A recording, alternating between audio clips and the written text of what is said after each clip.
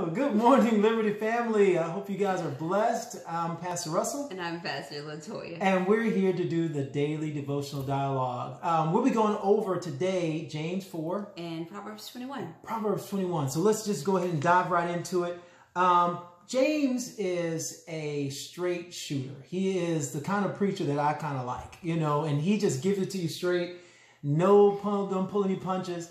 And um, when I was reading chapter four, it is just the same. He stays in that same vein. And he starts out with, with uh, chap, verse one, and it says, What causes fights and quarrels among you? And he goes on to talk about the things that causes us to fight and quarrel are our evil desires. Basically, we desire things and we can't have them. So we, you know, fight and quarrel and so forth and so on. But he goes on to four and he says, You adulterous people you don't know that mm. friendship with the world means enmity against God. And I was like, whoa, mm. enmity against God. That means enemy, I believe.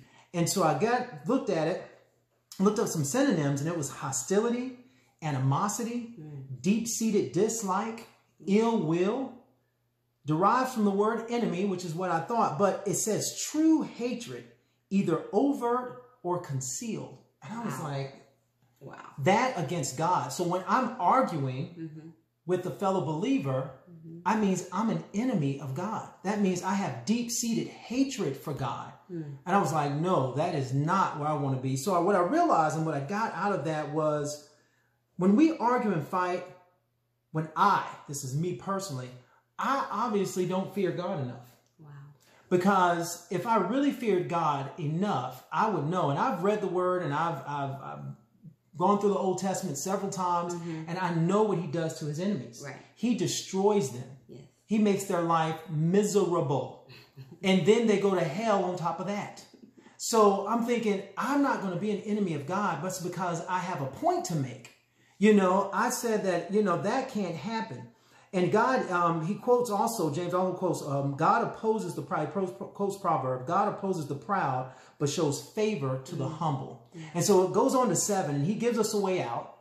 Praise God. Mm-hmm. He says, submit yourselves then to God, resist the devil, and he will flee from you. Mm-hmm. He said, come near to God, and he will come near to you. Yeah, what an incredible, that is an just submit yourself to God. Be humble mm-hmm. and submit yourself to God. Resist the devil, resist that temptation to fight argue, and just draw near to God. Mm-hmm. And he will draw near to you. Mm-hmm. And I know for the fact God will change your heart and get your mind right and so forth and so on, and the devil will flee. Mm-hmm. Thank God for a way out. Amen.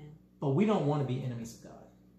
And we don't want to go to hell. And we don't want to go to hell. So don't do that. Did you talk about going to hell last time we did something? Listen, man, all I'm trying to do is stay out of hell. I want to go to hell and love the Lord and okay. love people. Well, so, bless. All right, let's God. talk about Proverbs. Okay, so Proverbs 21 um, is um, really good. I've been reading really out of um, my leadership Bible. And so there's just a leadership lens in even the verses or some of the commentary, mm-hmm. you know, mm-hmm. when it's, um, you know, as you're studying. And so um, Proverbs 21 1 was actually the verse that stood out um, to me. And in the Message Bible, it reads, Good leadership is a channel of water controlled by God. Amen. He directs it To whatever end he chooses. And so I, I, think first, you know, it's important to acknowledge, you know, while this verse is talking about leaders, mm-hmm. you know, sometimes we're quick to dismiss ourselves as leaders because we don't have a certain role or a certain title. Mm-hmm. Um, but I think it's important to state that we are all leaders. It doesn't um, matter really what your role is. Right. Um, you could be a parent, you could be a teacher, you could be a VP of a company, you could be a real estate agent, eh, you know, an entrepreneur. You are still a leader, right? Um, and this verse is specifically talking about good leadership. So right. not any leader. Um, and it's just giving us guidance really mm-hmm. um, for what that means. So um, as a good leader, it says good leadership is a channel of water controlled by God. So yeah. there's an acknowledgement there um, number one, that while as a leader, you might be in charge of something, mm-hmm. you also acknowledge and recognize that God is the one who is ultimately in control. And um, there is a distinct difference, Mm-hmm. right? Um, if we're in charge um, and our and our heart is in in God's you know hands, Mm-hmm. and we are striving to be good leaders, we know that there is limitation. There is an end to what we're able to do, even to the outcome of whatever we're seeking to achieve. Right.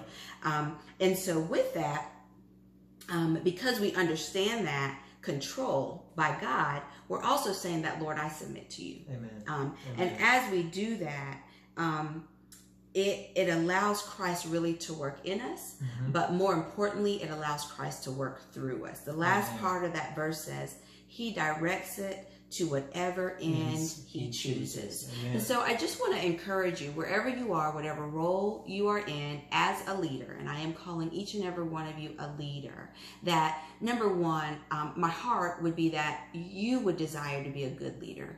Um, and what that means is that you desire to acknowledge that, Lord, you are in control. Um, I have limitations as a leader, but at the end of the day, I do want you to be the one to guide and to determine the end results. Um, so Amen. be encouraged today. Be Um, we love you. Thank you so much um, for giving us this time. We look forward to seeing you tomorrow. See you tomorrow. God bless. God bless.